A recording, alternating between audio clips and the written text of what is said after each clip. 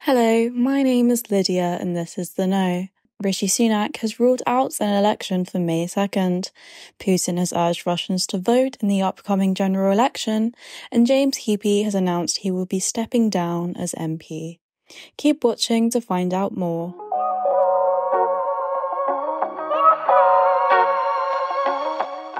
Rishi Sunak has ruled out a general election for May 2nd, suggesting it could happen towards the second half of the year.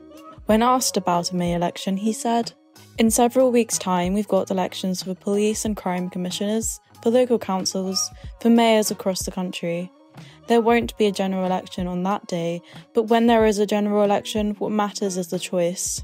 A general election takes place every five years unless a Prime Minister holds one earlier. The latest an election could currently take place is the 28th of January 2025. Opposition parties have been pushing for Sunak to call an election, with Labour's election coordinator, Pat McFadden, saying, After 14 years of Tory failure, the British public have the right to expect an election. Meanwhile, in Russia, Vladimir Putin has called on citizens to vote as polling stations open three days ahead of their presidential election. Unlike England, Russia holds an election every six years, and this will be Putin's fifth time standing for presidency. Ahead of the election, a television ad was rolled out to encourage Russians to vote. А проголосовать заехал? Нет, не успел.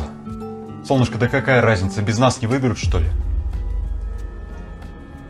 Ты хочешь нашего ребенка без материнского капитала оставить? А нас? Без семейной ипотеки? А деньги на свой бизнес ты где собрался брать? Без льготного кредита обойдешься, а?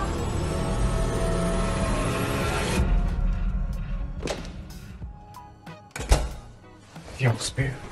Я успею, я успею.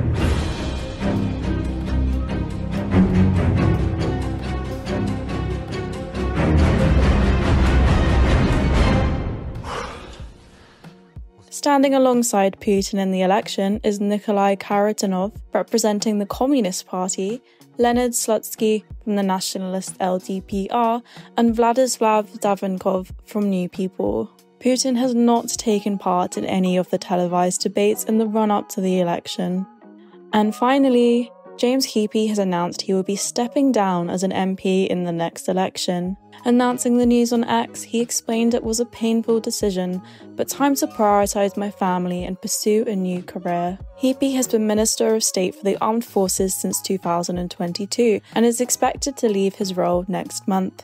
He currently serves as MP for Wells and Somerset. The news will be another blow for Rishi Sunak, who has already seen 59 other MPs standing down from their position. Thank you for watching The Know. Don't forget to like, comment, and subscribe to The Mirror for more daily news updates.